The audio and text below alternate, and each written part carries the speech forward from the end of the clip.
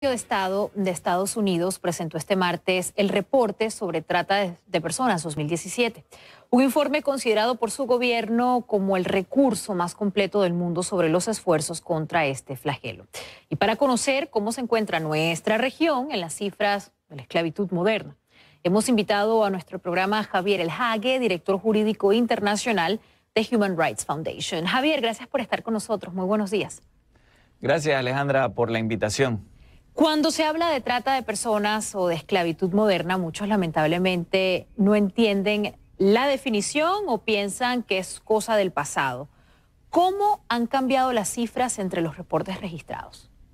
Eh, mire, la, definición es algo de verdad que no, es tan simple, pero para, simplificarlo, eh, son operaciones ya sea de rapto o de reclutamiento, traslado, y recepción de parte de alguien de personas eh, para trabajar en industrias explotadoras, ya sea en trabajos eh, eh, en, industrias varias o en la prostitución particularmente.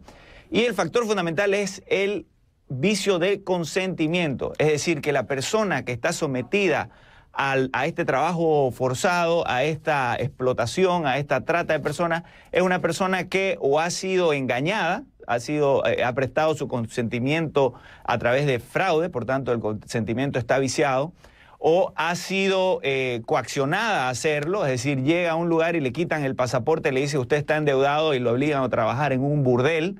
Eh, entonces, el, vicio de consentimiento hace que la persona no pueda, no pueda considerarse que ha consentido a participar de esa actividad. Como dije, en particular, eh, eh, eh, el, derecho internacional trata de prevenir los crímenes de explotación sexual de menores, que son definidos como menores de 18 años. Ah, Javier, hay varios niveles en el reporte, en inglés se llaman tiers o escalas. Cuatro niveles, hay dos escalas en el nivel 2 y también hay casos especiales. Me llamó la atención que Venezuela se encuentre en el nivel 3, en el número 3. ¿Qué significa esto? Eh, significa que Venezuela está entre los países del mundo, entre la sección de países del mundo que incluye a las peores dictaduras del mundo, China, Rusia, eh, Bielorrusia, Siria e Irán, las peores dictaduras del mundo, que no han hecho esfuerzos para tratar de prevenir la trata de personas. Sin duda, el gobierno venezolano está más preocupado en estos momentos por mantenerse en el poder, por reprimir a la oposición, por cerrar la libertad de prensa, eh, por ejecutar sus políticas económicas eh, sin sentido antes que en eh, combatir un crimen que por lo general no tiene un, tono político, que es el crimen, los crímenes eh, de, trata de blancas, que por lo general tiene más bien un sustrato económico, cultural. Entonces Venezuela ha hecho, el país que ha hecho menores esfuerzos en ese área. en el nivel segundo hay otros países de América Latina que ya son por lo general países reconocidos como institucionalmente un poco más débiles, Guatemala, Bolivia, Nicaragua. Eh, y ahí nos sorprende que esté Cuba. Cuba tradicionalmente ha estado en, el nivel 3, ¿no? En estaba con Venezuela. Exacto, con Venezuela. Eh, y, de hecho en Cuba eh, basta con preguntarle a, los, a las personas que van a Cuba a hacer turismo, la trata de personas es incluso más visible. Entonces, ¿a qué se debe este cambio, Javier?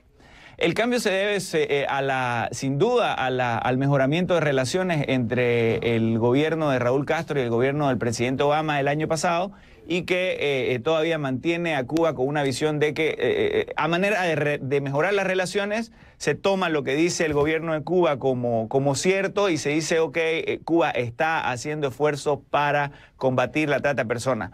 sin embargo, nosotros dudamos que Cuba merezca estar en esa categoría.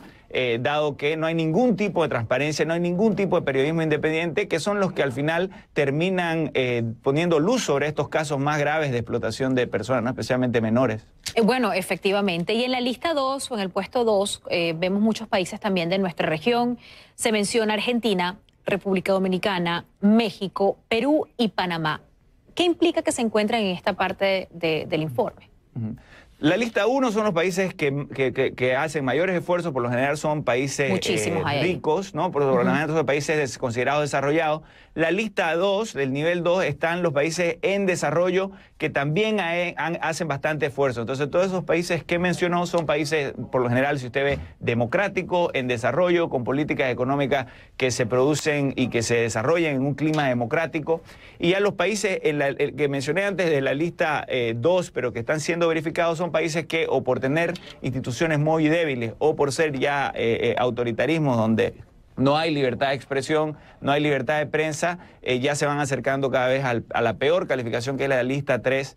y como usted mencionó, que tiene solamente en América Latina a Venezuela. Eso significa que el presidente de Estados Unidos potencialmente podría pedir que las organizaciones multilaterales de crédito no den crédito a ese país, establecer una serie de sanciones económicas contra, contra ese Estado. Es potestad del presidente de Estados Unidos eh, hacer eso. Hace 17 años se publica este reporte, muy importante decirlo, porque no es una iniciativa del presidente Trump, sino que es una iniciativa que viene desde el año 2000 ya. Eso incluye, por ejemplo, como acabas de mencionar, eh, Venezuela, y me llamó la atención que el mismo informe hay una historia eh, que habla sobre el caso de una mujer venezolana que se mudó a Trinidad y Tobago, creo que, era, creo que era el país, para encontrar un nuevo trabajo. Le aseguraron que era un nuevo trabajo y cuando llegó a este lugar lamentablemente se dio cuenta que era víctima de la esclavitud moderna, de una trata de personas. Gracias por estar con nosotros, Javier. Voy a publicar más adelante este informe conocido como TIP 2017. Javier El Hag de Human Rights Watch. Que tengas un buen día.